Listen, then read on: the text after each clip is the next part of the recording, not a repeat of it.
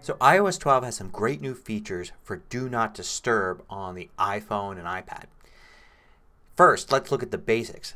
The Do Not Disturb feature, of course, has been around for a little while. You go in Settings, you can go to Do Not Disturb. Uh, you can switch it on manually here uh, or you can have it scheduled which is what most people do. And you schedule from certain times. So I have mine scheduled from 11 to 7.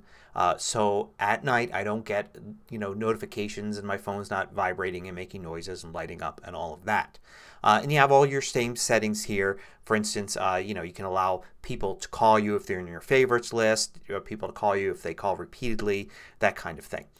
The problem is is if you want to turn Do Not Disturb on manually. Now why would you do that? Well say you go into a meeting or you're just uh, you know doing something where you don't want to be bothered. You're at lunch. You don't want to get any notifications or phone calls or anything like that.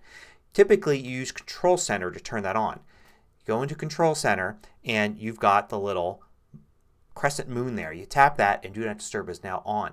Problem is people forget to turn it off. So you go into a meeting, you turn on Do Not Disturb and now you forget to turn it off after the meeting or the movie or whatever it is you were doing.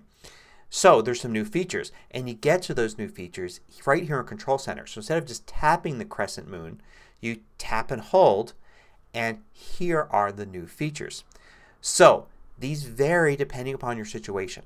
You're always going to see the first one, the 4 1 hour. This is great because it turns on Do Not Disturb and then automatically turns it off an hour later. So if you don't want to be disturbed just right now but you're not sure that you're going to remember to turn it off you can say 4 1 hour. If you remember to turn it off 5 minutes later, fine. But if you don't, at least after an hour it will go off automatically.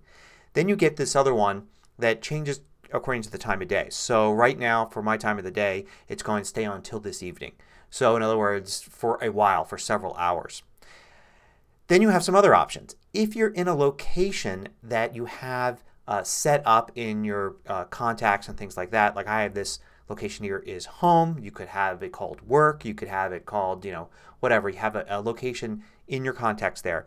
Uh, you'll have until I leave this location set up. So here it says until I leave this location home. Great. I can turn that on and now when I leave here uh, it will go back on. Perfect.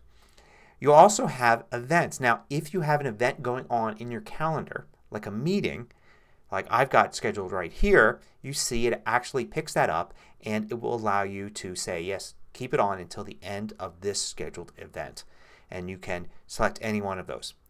Really handy so you don't forget to turn off Do Not Disturb.